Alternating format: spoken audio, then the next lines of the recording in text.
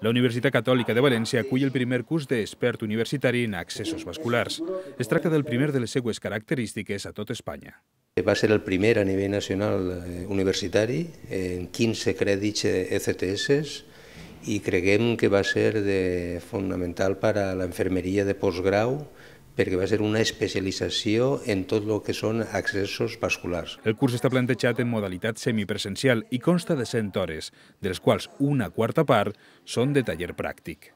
Els professionals que han anat eh, buscant per a, per a donar aquest curs eh, tenen gran experiència en el, el món de l'accés vascular y tinguem pues, pràcticament un 40% del profesorat de, del departament. Uno de los temas que voy a dar es eh, los catéteres periféricos y bueno, eh, la idea es que la gente mm, pues, sepa manejar y conozca los nuevos materiales y bueno, mm, conocer los procedimientos, protocolos y, y, los, las complicaciones que pueda tener los accesos periféricos.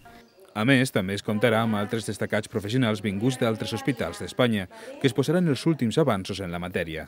El curs destaca precisament per la seva vessant tecnològica, amb temes com l'accés vascular ecoguiat. L'ecografia en infermeria jo crec que és algo molt desconegut i, i creguem que, que aquesta tecnologia ens pot aportar molt a la professió, no solament en accessos vasculars.